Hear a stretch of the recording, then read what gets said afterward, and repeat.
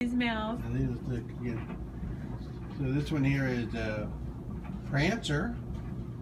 It says he's got some brown spots in his mouth, so he's probably, uh, well, this should all be close to being tri-factored. That would mean he, have, Oh, he can make a chocolate puppy, basically, or a- a yellow puppy, and that sort of thing. They're all been sleeping and eating, so this is a low activity state. Yeah, hi, buddy.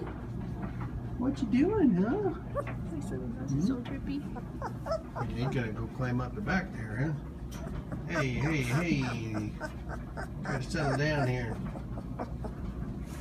You want to check out what's going on that way.